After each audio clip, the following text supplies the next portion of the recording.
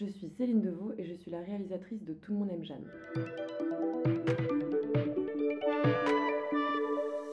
J'étais très heureuse parce qu'en plus ça fait longtemps que Unifrance me suit en fait même euh, depuis les courts métrages et du coup c'était un honneur un peu particulier.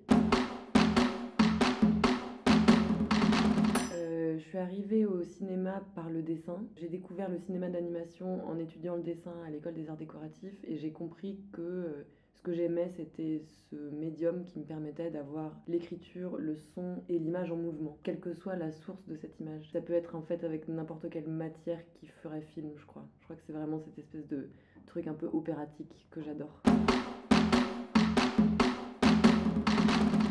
Envie de, rompre un peu le, contrat narratif euh, du, cinéma, enfin on va dire le contrat cathartique.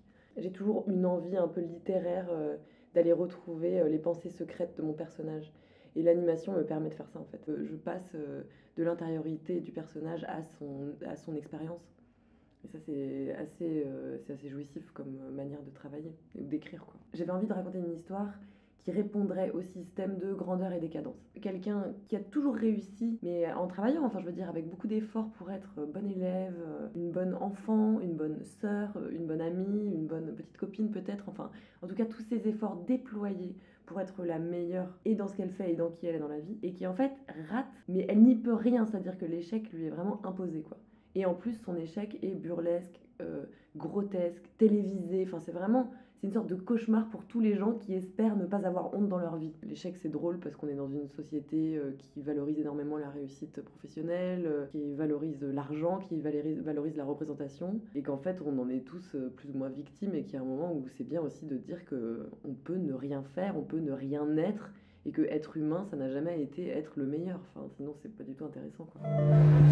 Voilà, tronche Ça se trouve, tu vas être assise à côté de lui dans l'avion tous les coups, il va venir te voir. Bip, bip, bip, bip, bip, bip, bip, bip, bip, bip, bip, Jeanne On se connaît Bah oui, tu te souviens pas Ah, aucun souvenir. Les deux acteurs principaux de mon film ont quand même la particularité d'écrire eux-mêmes et de mettre en scène eux-mêmes. On dirait, il y avait une exigence en fait dans le jeu et sur le plateau et qui était liée aussi à ce truc-là, quoi. C'est-à-dire que euh, euh, tous les mots euh, étaient devait avoir du sens en fait, que ce soit pour moi ou pour eux. Donc j'ai écrit le personnage de, Jeanne Mayer pour Blanche Gardin. Blanche Gardin, elle a proposé un jeu extrêmement sobre au service du personnage de Jeanne.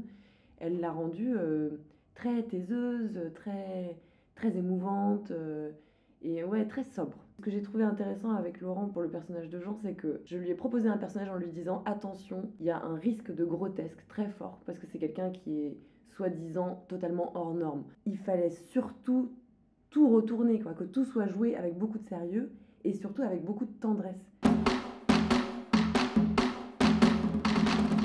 Les premières fois que je suis allée au cinéma seule quand j'étais adolescente, c'était des films doublés en allemand.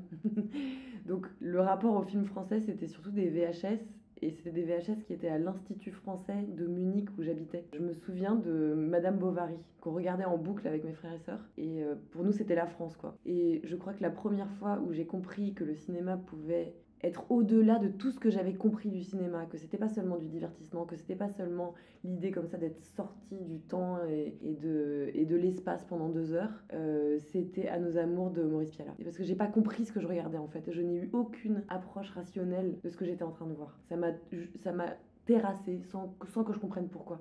Et c'était ça qui était euh, irrésistible. Crois que le cinéma français est très libre. Et parce que pour des tonnes de raisons, que ce soit par notre histoire, par nos financements, par, euh, on, a euh, une possibilité euh, d'invention qui est énorme. C'est très agréable.